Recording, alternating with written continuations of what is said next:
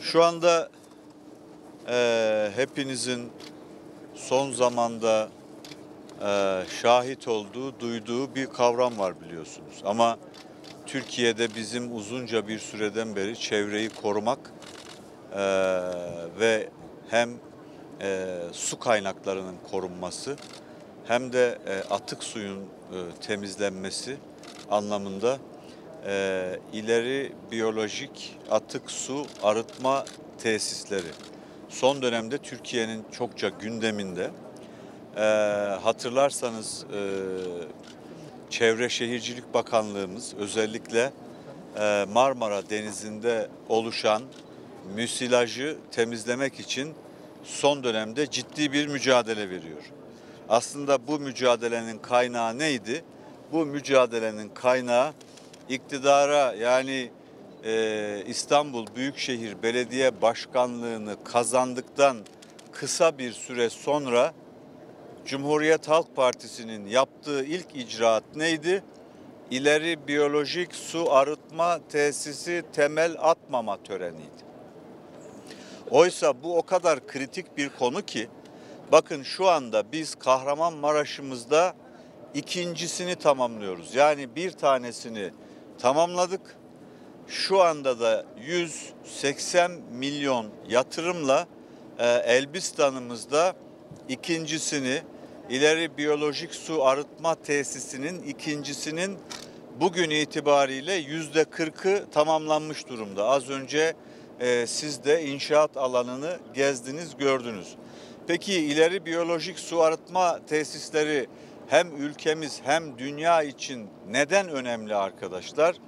E, çünkü dünya hepimizin. Su kaynaklarımız kirlendiğinde, su kaynakları e, temizlenmediğinde bu bütün dünyayı etkiliyor. Yani e, Brezilya'daki su kaynaklarının kirlenmesi bizi etkilediği gibi Türkiye'deki Ceyhan Nehri'nin kaynağının kirlenmesi de Brezilya'da yaşayan, Amerika'da, Avrupa'da yaşayan insanlar etkiliyor. Çünkü artık e, dünyamız adeta küçücük bir küreye dönüşmüş durumda. Brezilya'da yaşananlar bizi etkilediği gibi Amerika'da, Rusya'da hatta Alaska'da yaşananlar burada bizi etkiliyor. Bunu biz nasıl hissediyoruz? İklim değişikliğinden e, hissediyoruz. E, iklimlendirme değiştikçe e, hem coğrafya ciddi anlamda e, sorun haline geliyor hem çevre e, bu defa kusmaya başlıyor. Su kaynaklarının e, temizlenmemesiyle birlikte daha büyük sorunlar ortaya çıkıyor.